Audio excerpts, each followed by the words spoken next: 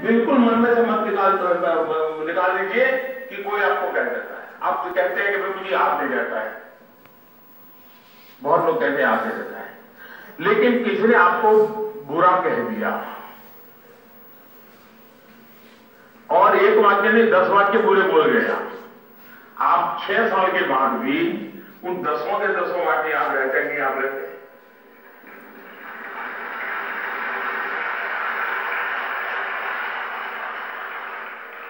इसका मतलब आपकी मेमोरी पावर में कोई प्रॉब्लम नहीं है। लेकिन वो चीज़ थी जो आपको छू गई। आप उसको भूल नहीं पा रहे हैं। आपको याद रह गया। आपके जीवन में कोई ऐसा फल आया होगा। और परिवार के दादा दादी ने उस पल इतने बढ़िया ढंग से आपको पुचकारा होगा, आपको आशीर्वाद